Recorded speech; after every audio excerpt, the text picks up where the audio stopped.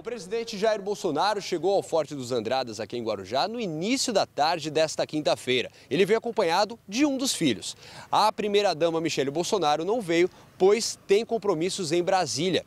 Esse mesmo local também já abrigou o ex-presidente Lula e a esposa Marisa. Dessa vez, foi montado um grande esquema de segurança. Aeronaves, por exemplo, não podem voar abaixo dos 500 metros sobre qualquer estrutura dentro do forte. Assim como na costa, nenhuma embarcação pode se aproximar mais do que 2 quilômetros.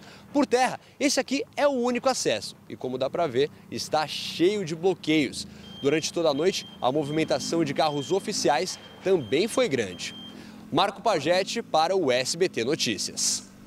Obrigado, Marco, trazendo informações sobre a hospedagem do presidente Jair Bolsonaro em Guarujá, no litoral de São Paulo.